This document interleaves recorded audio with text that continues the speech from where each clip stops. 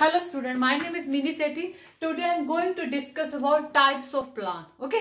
तो type of plan क्या होता है डिफरेंट डिफरेंट टाइप्स के होते हैं मैं भी पहले लिख देती हूँ फिर मैं आपको वन बाय वन हर एक के बारे में एक्सप्लेन करूँगी ओके तो टाइप ऑफ़ प्लान बेसिकली क्या होते हैं टाइप ऑफ़ प्लान में आपके ऑब्जेक्टिव्स आगे जाएँगे आपका ऑब्जेक्टिव आ जाएगा ठीक है आपकी स्ट्रेटजी आ जाएगी ठीक है और टाइप ऑफ़ प्लान में आपकी पॉलिसी आएगी आपके प्रोसीजर आएँगे, ठीक है?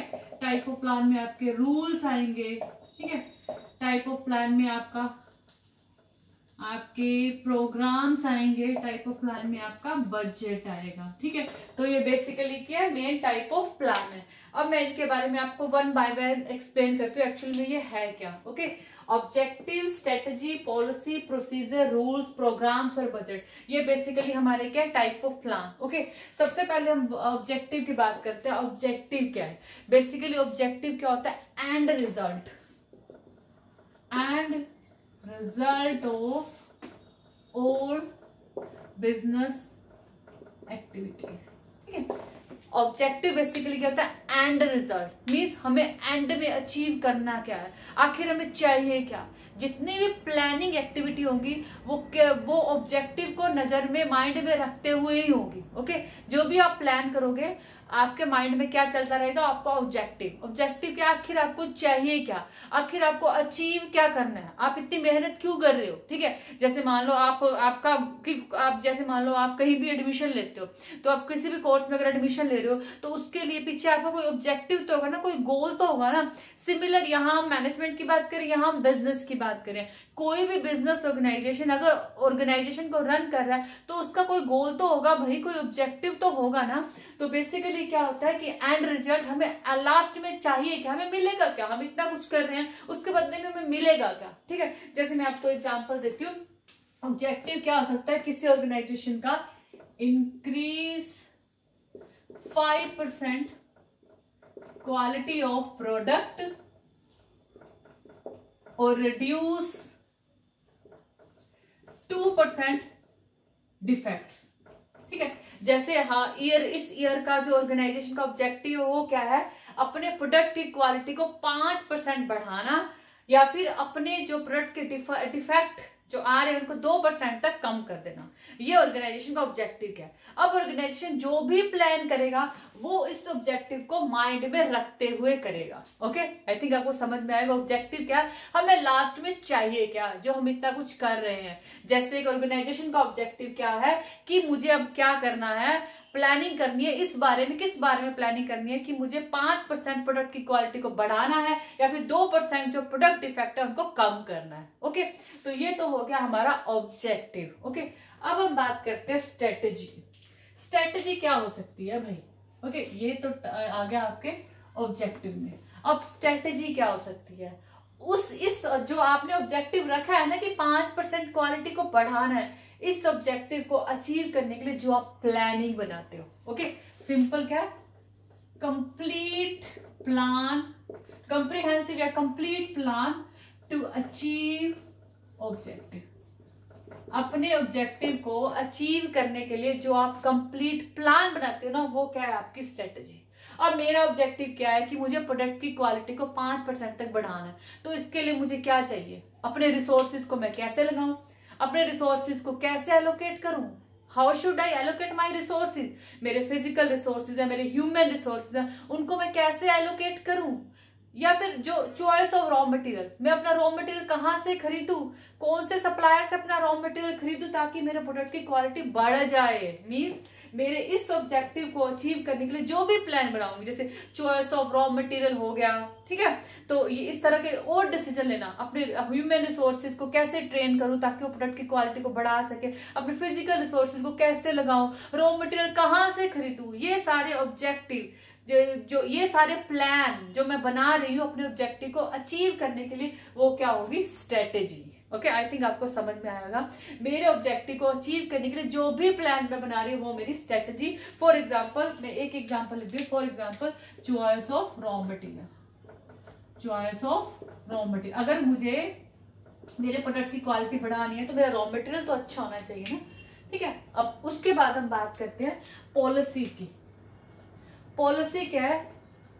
General statement for guidance of employees ठीक है? कुछ सी स्टेटमेंट होती है इंप्लॉयज को गाइड करने के लिए। मीन्स पॉलिसी जैसे मान लो, कुछ तरह की स्टेटमेंट होती हैं जो हम नोटिस बोर्ड पे लगा सक, लगा देते हैं या ओरली अपने एम्प्लॉयज़ को कन्वे कर देते हैं कि इन्हें आपको मानना है। ठीक है, इसी, इन्हीं इन्हीं पॉलिसीज़ पे आपको चलना है। जैसे फॉर एग्ज़ाम्पल मैं बात कर रही हूँ रिटर्न पॉलिसी की। जैसे किसी, जैसे मान लो अमेजन की रिटर्न पॉलिसी है कि आपको थर्टी डेज़ के अंदर अंदर अपना जो प्रोडक्ट क्या आपको रिटर्न करना पड़ेगा, ठीक है? इस तरह डिफरेंट डिफरेंट ऑर्गेनाइजेशन की डिफरेंट डिफरेंट पॉलिसी होती है। कहीं की प्राइस पॉलिसी होती है। Okay okay? कई क्या कहते हैं फिक्स प्राइस पॉलिसी को अडॉप्ट करते हैं। वो टैग लगा के रख देते हैं कि नो चेंज इन प्राइस या फिर फिक्स प्राइस ताकि कोई बंदा नेगोशिएट ना करो। कोई बंदा ये ना कहे भैया कम कर लो थोड़े और कम करो। नेगोशिएट ना करे। ठीक है? बहुत लोगों की ये पॉलिसी होती है कि वहाँ के हम बात करते हैं जैसे मान लो आ, कोई भी ऐसा मान लो को, कोई भी ऐसी शॉप है जहाँ पे हम ऐसे बोलते हैं वहाँ तो फिक्स प्राइस है। बच्चा भी चला जाएगा ना उसको भी ठगेंगे वही प्राइस लगाएँगे। तो उनकी प्राइसिंग पॉलिसी क्या फिक्स प्राइस इस तरह डिफरेंट डिफरेंट ऑर्गेनाइजेशन की डिफरेंट डिफरेंट पॉलिसी होती है। वो इस तरह की पॉलिसी क्यों बनाते हैं? अपने एम्प्लॉयज़ को गाइड करने के लिए। गाइड मीन उनके एम्प्लॉयज़ उन्हीं पॉलिसी के अकॉर्डिंग वर्क करे। जैसे रिटर्न पॉलिसी है। आप थर्टी डेज़ के अंदर अपना जो प्रोडक्ट है वापस कर सकते हो। उनके एम्प्लॉयज़ को इस पॉलिसी के बारे में पता है। वो उनके अकॉर्डिंग ही वर्क करेंगे। जैसे फिक्स प्राइस ये मेरे ऑर्गेनाइजेशन की पॉलिसी है तो मेरे ऑर्गेनाइजेशन के एम्प्लॉयज़ उसी पॉलिसी पे वर्क करेंगे। मीन्स पॉलिसी क्या होती है? आपके एम्प्लॉयज़ को काम के लिए गाइड करने के लिए। जैसे डिसिप्लिन पॉलिसी होगी। ठीक है? आई थिंक आपको समझ में आएगा। डिफरेंट डिफरेंट पॉलिसी एक ऑर्गेनाइजेशन क्रिएट करता है for guidance of their employees ताकि उनके एम्प्लॉयज़ उसके अकॉर्डिंग ही वर्क करें। ओके आई थिंक आपको पॉलिसी समझ में आया होगा। वेरी सिंपल उसके बाद हम बात करते हैं। एक इसमें रह गया मेथड रह गया मेथड मुझे याद आ गया अभी। ओके okay, उसके बाद हम बात करते हैं प्रोसीजर की। प्रोसीजर क्या होता है? रिक्वायर्ड स्टेप ठीक है, एक स्टेप डिफरेंट डिफरेंट वर्क करने के लिए भी डिफरेंट स्टेप फॉलो करने पड़ते हैं। जैसे एक ऑर्गेनाइजेशन जैसे आपको किसी कॉलेज में अप्लाई करना है तो उसका एक प्रोसीजर होगा, एक स्टेप होंगे जो आपको फॉलो करने पड़ेंगे। ओके इसी तरह आपको एक ऑर्गेनाइजेशन में अप्लाई करना है जैसे रिक्रूटमेंट के लिए तो उसके भी डिफरेंट डिफरेंट प्रोसेस होंगे। जैसे एक ऑर्गेनाइजेशन में सिलेक्शन और रिक्रूटमेंट के डिफरेंट डिफरेंट प्रोसेस होते हैं। सिलेक्शन प्रोसेस की बात करते हैं, पहले उसमें क्या होता है? स्क्रीनिंग होती है स्क्रीनिंग होती है। फिर सिलेक्शन एग्ज़ाम्पल सिलेक्शन इंटरव्यू होएगा। सिलेक्शन इंटरव्यू फिर उसके बाद रेफरेंस चेक फिर आपकी हायरिंग इस तरह से स्टेप होते हैं। कोई भी वर्क करने के लिए डिफरेंट डिफरेंट स्टेप होते हैं। जैसे फ़र्स्ट स्टेप आपका ये होगा सेकंड स्टेप ये होगा थर्ड स्टेप ये होगा। प्रोसीजर में बस आप ये मान के चलिए, किसी भी काम करने को जो रिक्वायर्ड स्टेप आप फॉलो करते हो वन बाय वन पहले आपको ये करना पड़ेगा, फिर ये करना पड़ेगा, फिर ये करना पड़ेगा। ओके आई थिंक आपको समझ में आएगा। प्रोसीजर क्या होते हैं? किसी भी वर्क करने के लिए जो आप स्टेप फॉलो करो जैसे मैंने यहाँ सिलेक्शन प्रोसेस की बात करी। स्क्रीनिंग होगी, फिर सिलेक्शन इंटरव्यू होगा, फिर रेफरेंस चेक होगा, फिर मेडिकल एग्जामिनेशन होगा, ठीक है? तो इस तरह के से डिफरेंट डिफरेंट स्टेप होते हैं। उसे क्या बोलते हैं? Procedure okay different different step जो हम फॉलो करते हैं, उसे बोलते हैं प्रोसीजर ओके उसके बाद हम बात करते हैं रूल्स की। रूल्स क्या करते हैं? स्पेसिफाइज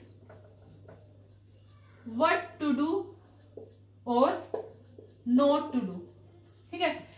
ये बड़े रूल क्या होते हैं? स्ट्रिक्ट होते हैं उसे आप तोड़ नहीं सकते। अगर आप उसे तोड़ोगे तो आपको पनिशमेंट मिलेगी आपको फाइन देना पड़ेगा ओके रूल्स में ऐसा नहीं चलेगा ओके तो रूल्स क्या होते हैं? हमें ये बता दें कि हमें क्या करना है और हमें क्या नहीं करना ठीक है?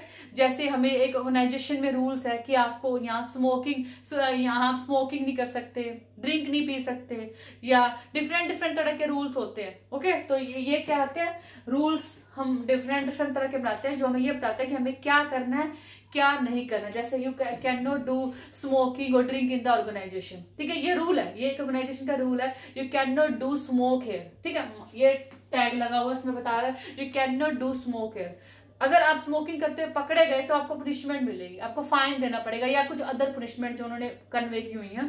ठीक है? तो रूल्स को आप ब्रेक नहीं कर सकते, उसको तोड़ नहीं सकते। उन्हें आपको स्टिकली फॉलो करना पड़ता है। रूल्स बेसिकली हमें क्या कहते हैं? हमें क्या करना है, हमें क्या नहीं करना है। जैसे मैंने आपको एग्ज़ाम्पल दिया, किसी ऑर्गेनाइजेशन में ये रूल है कि आप वहाँ पर स्मोकिंग नहीं कर सकते। ओके ये रूल्स हमें क्या बताते हैं? हमें क्या करना है और क्या नहीं करना। ओके उसके बाद हम बात करते हैं प्रोग्राम्स की। ओके प्रोग्राम्स क्या है? प्रोग्राम से पहले मुझे लगता है मुझे आपको मेथड बता देना चाहिए। प्रोग्राम्स इन सबका कॉम्बिनेशन है मैं बाद में बताऊँगी। ये क्या है? Systematical way requires to perform routine task या रूटीन जॉब ठीक है?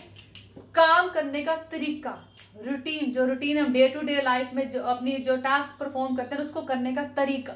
ठीक है? हर एक ऑर्गेनाइजेशन का काम करने का तरीका डिफरेंट डिफरेंट होता है। जैसे मैं आपको बता पाती हूँ ट्रेनिंग ठीक है? ट्रेनिंग के बहुत सारे मेथड होते हैं। जैसे ट्रेनिंग के एक मेथड में से एक मेथड है रोल प्ले ठीक है? तो एक ए बी सी ऑर्गेनाइजेशन है, वो जब भी ट्रेनिंग कंडक्ट कराता है तो वो ट्रेनिंग क्या रूटीन वर्क है।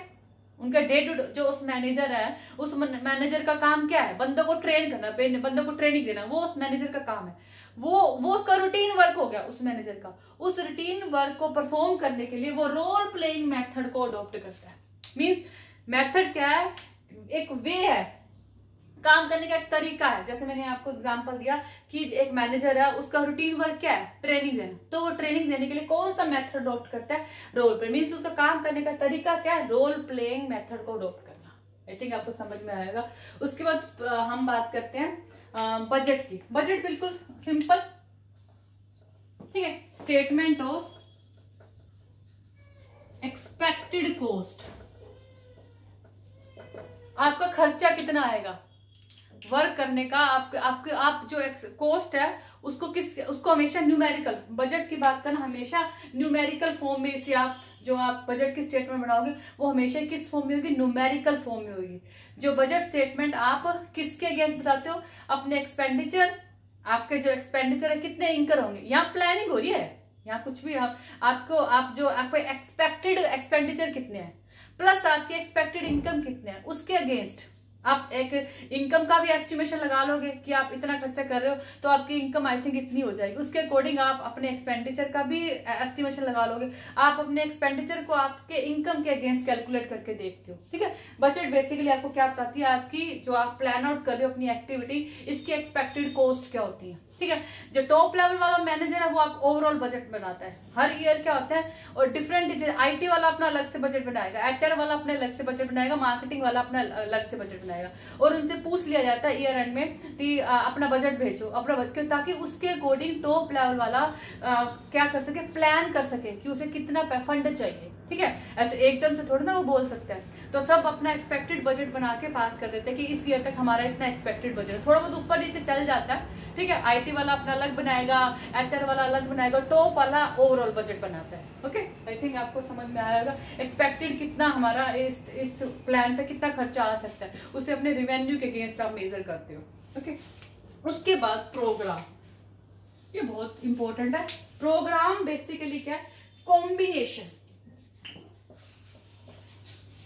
combination of goals policy procedure rules etcetera ये सबका कॉम्बिनेशन है। ओके okay, मैं आपको एग्जांपल के थ्रू बताती हूँ। ठीक है? जैसे डेवलपमेंट ऑफ़ न्यू प्रोडक्ट ठीक है? ये आपका प्रोग्राम है। आप नए प्रोडक्ट को डेवलप करने जा रहे हो। ठीक है? तो इसमें आपका ऑब्जेक्टिव भी आ जाएगा, इसमें आपकी पॉलिसी भी आ जाएगी, इसमें आपका प्रोसीजर भी आएगा, सबकी डिटेल आउटलाइन है, इसमें आपके रूल्स भी आ जाएँगे। अब आपका ऑब्जेक्टिव क्या था? क्वालिटी में इंप्रूव करना। तो आप जो नया प्रोडक्ट डेवलप कर रहे हो, वो किस लिए कर रहे हो? प्रीवियस प्रोडक्ट की क्वालिटी अच्छी नहीं थी, अब आप अब एक नया प्रोडक्ट बना रहे हो उसको मॉडिफाई करके। ओके तो इसके लिए आपको ऑब्जेक्टिव इसमें आपका ऑब्जेक्टिव भी आएगा, इसमें आप ऑब्जेक्टिव भी लिखोगे। आप नए प्रोडक्ट को क्यों डेवलप कर रहे हो? इसमें आपका ऑब्जेक्टिव आएगा because we want to achieve increase the quality ठीक है? इसमें आपकी पॉलिसी भी आ जाएगी। नए प्रोडक्ट को अचीव करने के लिए आप कुछ इम्प्लॉयज के लिए पॉलिसी तो सेट करोगे ना?